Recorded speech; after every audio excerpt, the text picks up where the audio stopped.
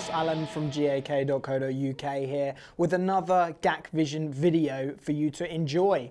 Today we are going to be checking out another one of the fabulous guitars from the company Gibson. We're going to be checking out one of their other new 2017 models. This is the 2017 Les Paul Faded T in worn brown. So let me run through the specifics of this guitar. So we have the usual suspects when it comes to um, a Gibson Les Paul. We have a mahogany body with the ultra modern weight relieved body. So this guitar is incredibly light. Um, I wouldn't be able to actually tell you unless you grabbed one yourself, but it is very, very light. We have a maple top in this wicked sort of, as I said, faded brown finish. But even though it is a faded finish, there is a gloss on top the back of the body has been left to a, it's got like a really, really soft gloss on it. And so is the neck. The neck is soft, but there as if there is like a, a, a, slight gloss to the neck as well. So I can imagine these guitars wearing really, really nicely um, where you rest your hands or go up and down the neck and stuff. I'm sure that will buff up quite nice. Um, we've got the standard sort of configuration when it comes to your sort of your layout. So you've got your two volumes and your two tones for each pickup. You've got your Tune-o-matic hard bridge. Um, obviously comes with the scratch plate, which you can take off. Got a set of Gibson humbuckers. You've got the 490T in the bridge and the 490R in the neck. Once again, you've got the three-way selector switch. Obviously, the things with the new 2017 is they don't have the selector ring, which runs around the actual switch, but you can get hold of those and just put one on there if you really wanted to. So you've got big jumbo frets on this bad boy with the rosewood fretboard, runs all the way up to the 22nd fret. Um, you've got a really, really slim neck on this guitar. Compared to the traditional that had the big 50s style, this is, comes with a, I would say it's more of a 60s slim style neck on this model. Um, you've got the traditional heel on it, on this Gibson here as well. Um, and then you've just got Gibson Les Paul model on the back with the Gibson Deluxe tuners as well. So that's all there is to this new 2017 faded model, really. Um, the one thing that I really like about it that it had over the old 2016 model is, is that slight gloss to it. It adds a little bit of prestige to the model instead of being just, even though these guitars are incredibly affordable entry level Gibson guitars, they're still made in the USA and it looks like a professional instrument. It doesn't look like a beginner's Gibson. You could see this in the hands of anyone that really, really likes to play Gibson live. So the guitar is running into a Fender Supersonic 22, one of my all-time favorite amps. It's going into the clean channel at the beginning, and then we're going to switch over to the drive channel. All of the EQ is at 12 o'clock on this amplifier, so we can kind of just, you know, gather from that point on there. So we'll start off with the clean channel, and I'll run through the pickups, and we can see what it sounds like.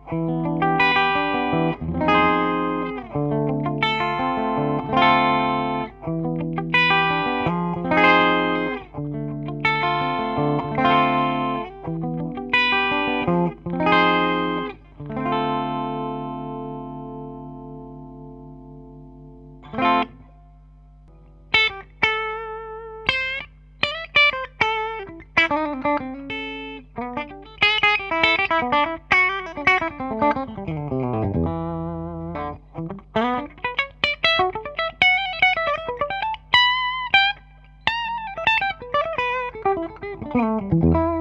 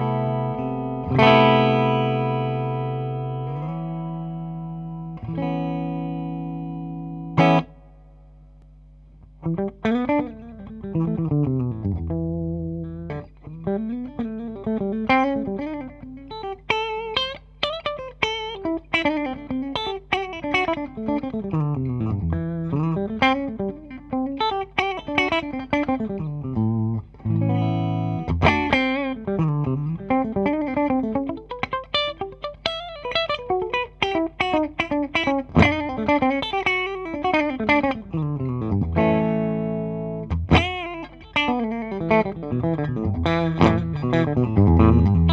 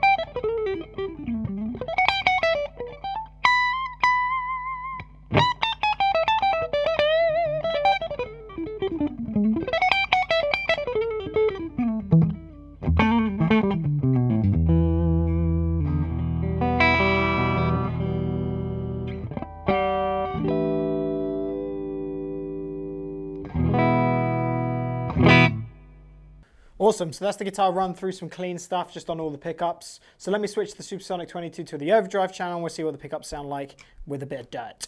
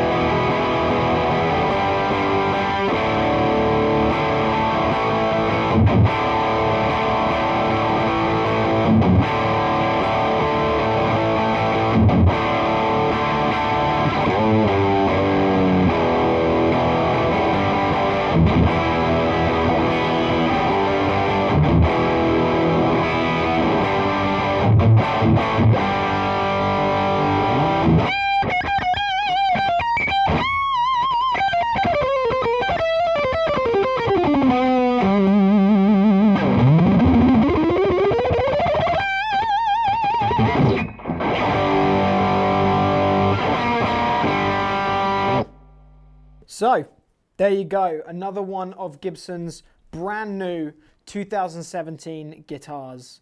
Absolute beautiful instrument to look at, play, and it sounds absolutely killer. So as I said before, they're down in the shop now, so make sure you come down, get your hands on them, see what you really think of them, and then give me a shout, see what you, you know, tell me what you think of these guitars. Thanks for watching, guys.